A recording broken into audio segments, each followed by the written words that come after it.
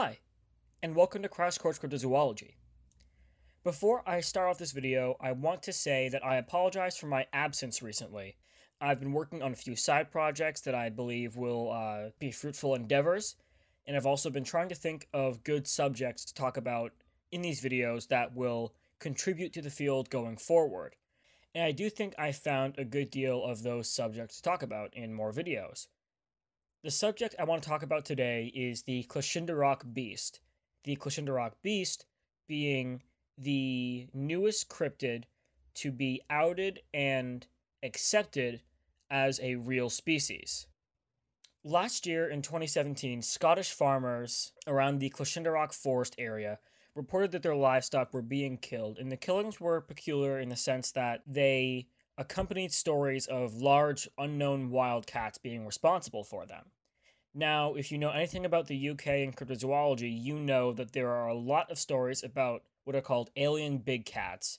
Now, what alien big cat really means is species of cats that we know exist, but that are being seen in England, which is a place that big cats are simply not supposed to exist. The Clashindarroch beast originally was not an exception to this, nor was it an exception to the regular attitude towards alien big cats, which is usually that the stories are misidentifications of house cats.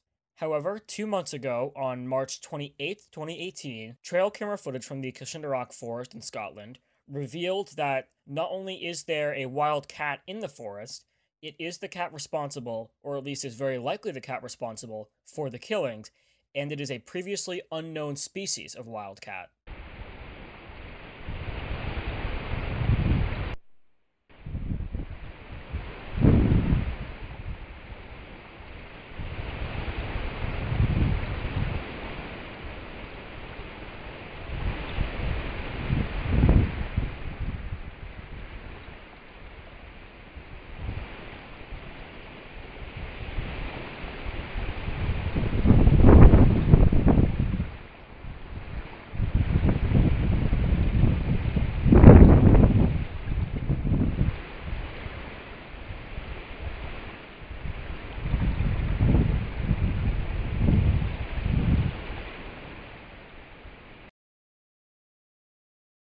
Kev Bell, the researcher who set the camera, is quoted as saying, I've been monitoring the wild cats in this area for about two years now, and been fortunate to get footage of quite a few of these ghost cats.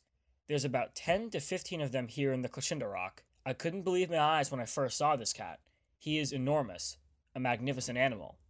Now, when you think of an enormous cat, you might not really think of a smaller cat like a lot of these may be, but at about four feet in length, the Clashindarroch beast is, in fact, Scotland's largest wild cat. And it being its largest wild cat, it's odd that it went undiscovered for so long, especially with it killing livestock last year. Ultimately, I think, for one thing, what's so significant about the Clashindarroch beast discovery is that it gives some credibility to the alien big cat sightings, and it gives credibility to cryptids, I believe, in general. Now, does that mean that all cryptids need credibility? No, but I do think that the scientific and reality driven side of cryptozoology is often ignored. And the Clashindarroch beast is a miraculous result, or miraculous discovery, rather, in the sense that it came about because Kev Bell decided that there was something to it he likely decided so based on the evidence for the Clashindarroch beast. Why else would he be looking for big cats in a Clashindarroch forest? So he looked at the science of things, and sometimes the science is insufficient, sometimes it's sufficient. And I think that any form of what appears to be scientific evidence of any kind should be explored, especially within cryptozoology. Had Kev Bell not gone searching for it, chances are the Clashindarroch beast would have gone undiscovered for a much longer time, possibly going extinct before ever being discovered, as they do seem to be small in numbers. If you take away anything from what I would call a pretty momentous discovery such as this one, take away that there are still things that we don't know about in the world, and sometimes they can be in huge deserts, rainforests, but sometimes they're just in patches of woodlands. That being said, until next time.